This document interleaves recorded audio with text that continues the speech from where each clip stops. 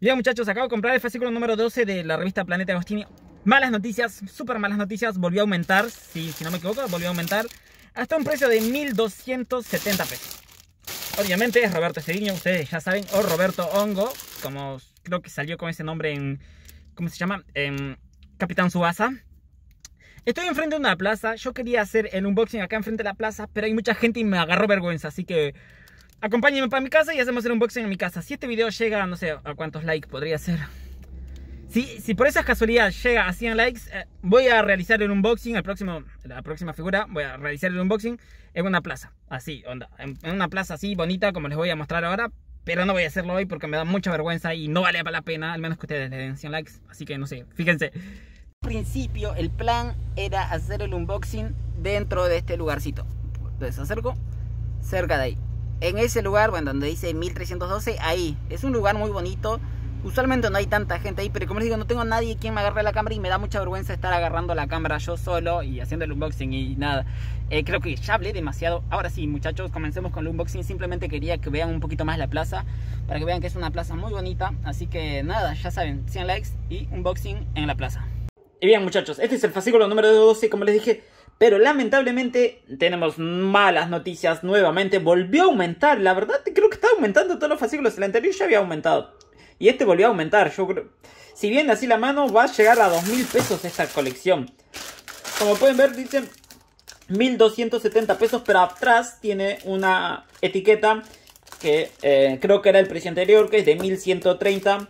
Y esto seguramente fue un aumento repentino que tuvieron que realizar por por no sé qué, porque el dólar no aumentó, así que no sé, por la inflación, no, no, no sé qué excusa le habrán puesto para aumentarlo, pero lo aumentaron. Bueno, como pueden ver, decía 1130, al parecer se iba a mantener ese precio, pero esto fue un aumento repentino, como les digo. Tenemos a Roberto Ceriño o Roberto Honguito. Bien, la bolsita y revisamos la revista que es algo que lo que menos nos interesa, pero por costumbre del canal lo vamos a revisar muchachos. Chicos, e, esta imagen es horrible, la verdad el diseño del primer Roberto Cediño a mí menos no me gustaba, me gustó más la de Roberto Cediño, la ROAT 2002, esa me gustó más la del 2002 que esta, la primera no me gustó para nada, está muy fea. Esta, bueno, está, un poquito más pasable, pero esta no, está medio como que no. Oliver sí, seguía estando bien, pero Roberto, no, sé, parecía, mira, en teoría, ahí, Oliver tenía como 8 años, si no me equivoco, 8 o 10 años. Y ahí Roberto ya era una, era una persona adulta y fíjate que le llega al cuello. O sea, qué mala proporción de persona. O Roberto era súper enano o Oliver era súper alto, una de dos. Bueno, como pueden ver, un poquito de esto, lo otro y nada, nada más. Como siempre, nada interesante en la revista, así que la dejamos de un lado. Acá tenemos a Roberto Cediño, lo que estamos esperando. Roberto Cediño, como lo conocimos la mayoría de nosotros, o Roberto Hongo, como está actualmente en Supercampeones. Eh, va, el Capitán Subasa, no Supercampeones. Capitán Subasa es con Roberto Hongo. Y eh, Roberto Cediño es en Supercampeones. Bueno, no quiero salir, ya. Lo abrimos con la mano porque no quisiera buscar la oli herramienta, así que nada, aguanten.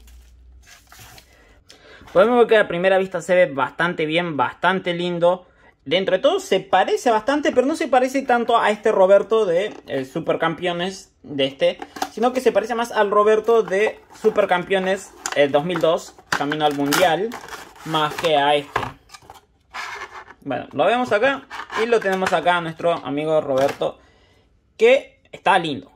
Está bastante lindo. Como pueden ver, muchachos, es súper lindo. Está bastante bien hecho. Me gusta la cara. No sé si los bigotes eran así. Mm, no sé, le veo algo raro a, los bigotes, tipo a la barba. Es medio como que dibujada. Creo que tendrían que haberle puesto un poquito más de sombra por acá y por acá. Medio como que completa completamente eh, la barba y el bigote. Pero dentro de todo se ve bien. De lejos puedes verlo y se ve bastante lindo. Me gusta cómo está bien pintado. La forma es sencilla, pero es una forma en la cual Roberto estaba todo el tiempo. Si pueden recordar, el anime todo el tiempo estaba así o borracha. una de las dos. Eh, bien, una buena pose, la pintura, la piel. Y aparte, abajo dice Roberto Cediño en la parte latina, no Roberto Dongo, pero bien, eso se agradece porque no hay que tomarnos el trabajo de cambiarle, sacar este etiquete y ponerla y ponerla que nosotros nos gusta. Que supongo que la mayoría lo conoce como Roberto Cediño y no como Roberto Dongo. Eh, como pueden ver, esta parte está bastante linda. Quiero que la vean más de cerca. Es hermosa. ¿eh? Les traigo a Oliver para que tengan una noción más o menos de cuál es el tamaño de Roberto. Pueden ver que es ahí más o menos, más, o menos está más o menos al mismo tamaño que la revista. Qué malísima proporción. Ponele que no eran así en realidad. Oliver no era tan alto porque acá tiene 8 y 10 años, no me acuerdo bien la edad. Y acá Roberto Cediño ya es una persona adulta y como pueden ver son casi la misma altura. Vemos que Oliver es súper cabezón, no me gusta esto que sea... Eh, que no, tenga, no esté bien proporcionado las figuras. Pero bueno, ¿qué se le va a hacer? No se puede exigir más. Pero no, sí podemos exigir más porque es un precio bastante caro el cual estamos pagando como para no eh, reclamar estas cosas. Pero bueno, ya sabemos que está de fábrica en sí, pero no pasa nada. Y bueno amigos, ahora me callo unos segunditos para que ustedes puedan apreciar esta figura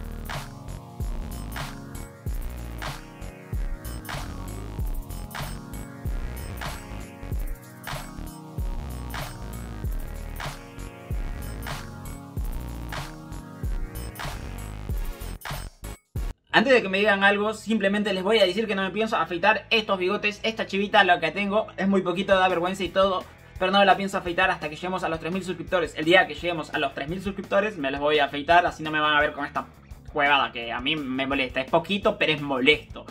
Y nada, en conclusión muchachos, ¿vale la pena pagar los 1.230 pesos que vale esta figura? En realidad Sí, pero no. Depende. Si sos muy fan de Naruto, perdón, perdón, estoy tan cambiado con Naruto que estoy como que perdido. Si sos muy fan de Supercampeones, te recomiendo que sí te lo compres porque 1230 tampoco es tan caro, son apenas 10 dólares, un poquito menos al dólar blue, al oficial es 10 dólares, 11 dólares, ponele 11, 12 dólares por ahí. No, no es caro, es una linda figura, está lindo el packaging en el que viene. Pero si llega a aumentar mucho más, no, no te conviene comprar. O sea, yo hasta 1500 me voy a avanzar, voy a seguir comprando, pero no voy a comprar toda la colección. Voy a comprar los personajes que más crea eh, importante, o sea, que más me gustan a mí. Y uno de esos era Roberto Cedinho. Ahora estoy esperando a Benji Price. Y no creo que compre muchos más. Eh, pero nada, espero que les haya gustado. Ah, el número, el puntaje para este personaje, antes que me olvide, es de un número 7. Pasable por el precio, lamentablemente le bajó bastante pero sigue siendo una linda y bonita figura. Eh, Bueno amigos, espero que les haya gustado. No se olviden suscribirse al canal y comentarme qué les pareció este video. Y ya saben que si quieren que haga el unboxing en el aire libre con mis amigos, denle like. Y nos vemos en el próximo video. ¡Chao!